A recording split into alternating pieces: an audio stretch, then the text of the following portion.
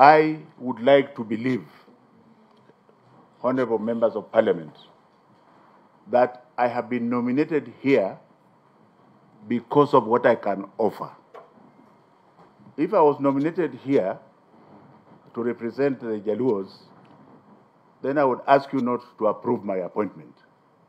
Because when I take this appointment, I come from a region right. But if you want me to serve uh, political interest, with all due respect and humility, I am the wrong person for that appointment. I would like to see Kenya as a nation. I would not like to be taken to a silo uh, where you say, well, you represent Siaya. God forbid.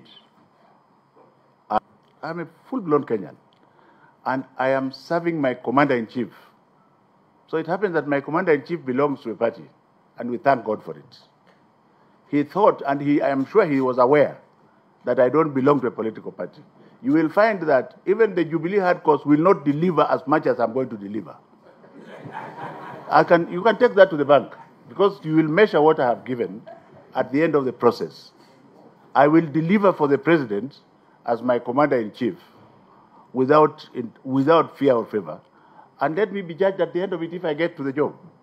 If you are worried that I'm the type who will start listening to Paul, if I'm not listening to Jubilee politics, why do you think I will listen to the other one? I shall not listen to any politics at all. Because I, I believe even the position I'm being given requires that we remain neutral and just work and produce results. On, on the basis of that, I accepted this appointment. And I had sent those uh, feelings to the appointing authority. And he's aware. And I want to assure you that you will be shocked. There are people who are singing Jubilee all over the place.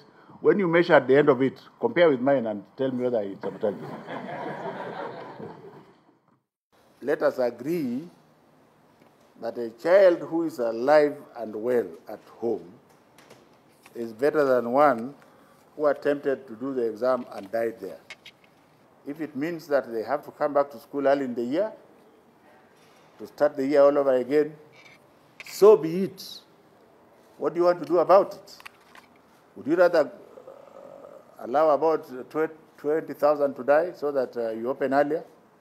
How are you going to select that 20,000 or, or, or 100,000? How are you going to select them? Because to, to us, the life of one child is more important. So rather than thinking about so much about exams and learning, teach the, teach the child what you know yourself. If you are a headsman, it may be very good if you go and show your child how to milk a cow, the way I was shown the other time. And I think this is the narrative that we must talk about. I would like when I come to your station, you are the one to defend me. Because you can't portray me as an idiot when I am not one. I'm not one. It is, it, so the person I want to, to engage with somebody of my caliber. Not somebody who will be saying lies, and for the public, the public will think that is the, the intelligent one.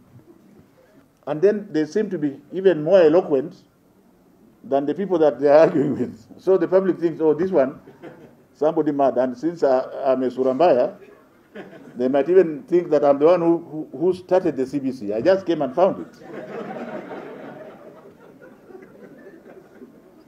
so, for the avoidance of doubt, we are going to ensure that CBC is here to stay.